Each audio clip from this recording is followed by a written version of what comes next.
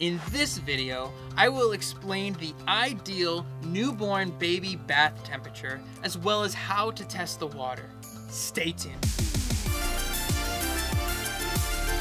Hi, I'm Dan and welcome to Parent Pacifier. On this channel, we help new or soon to be parents with product reviews, stories, tips, and how-to videos just like this one. So if you're new here, consider subscribing and hitting that bell icon so you never miss a video.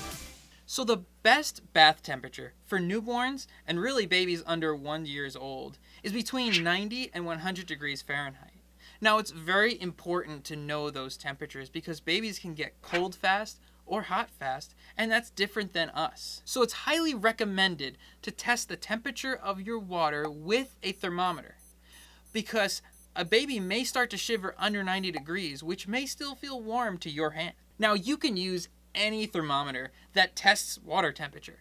We have actually a mechanic friend of ours who uses a laser thermometer to test the temperature of his baby's water. Now, if you don't have one of those, we recommend the Aquatopia Safety Bath Time Audible Thermometer and Alarm. This is a great thermometer for your baby's bath time, especially for a newborn, because it'll alert you with an alarm when the degrees gets below 90 or above 100. So you could just put this right in your bath, whether it's a little uh, baby bathtub, a sink, or in your full-size bath. And while the water is filling up, it will tell you when it's reached 100 degrees or above 100 degrees. Then you'll know that you need to take that temperature down a little bit.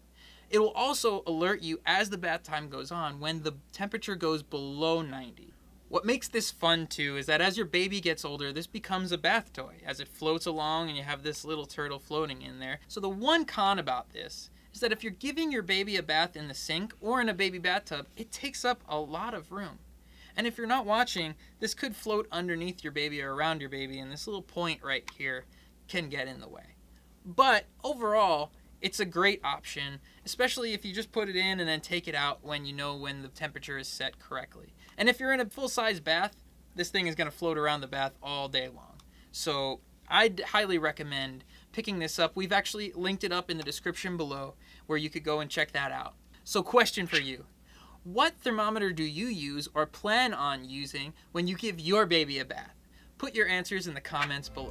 Thank you for watching, and if you're interested in another parent pacifier video, we suggest one of these videos right here. And don't forget to hit that subscribe button.